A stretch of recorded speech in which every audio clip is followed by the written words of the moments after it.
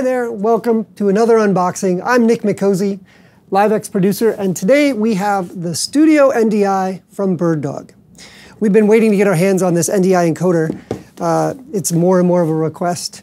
And uh, NDI encoders will work with your TriCaster Pro line, Livestream, and of course with vMix. So it's becoming more of a popular item. So let's take a look at what's in the box, shall we?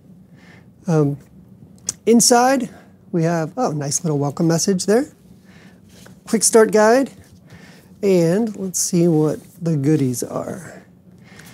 Uh, we have AC power, DTAP power, which is quite nice, adapters for international for AC, and the unit itself.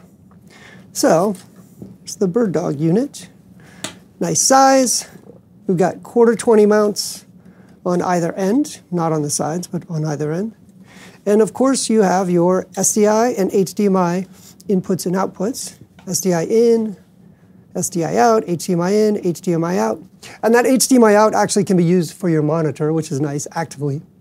If, if you can use your, your SDI and use the HDMI at the same time as a monitor output. Uh, there's your Ethernet port, and that also has PoE. So you actually have three power options here, the AC, the DTAP, which is on this end, AC port and DTAP port, or you can use PoE. Uh, there's also an external tally port here. And on this side, there's USB, which you could use, for example, with a USB to Ethernet adapter to control PTZs. Uh, and then, of course, there's the tally. Uh, on the front is an LED, 35 by 5 LED display, uh, which on the box you can see will show you what camera you're on and preview and program.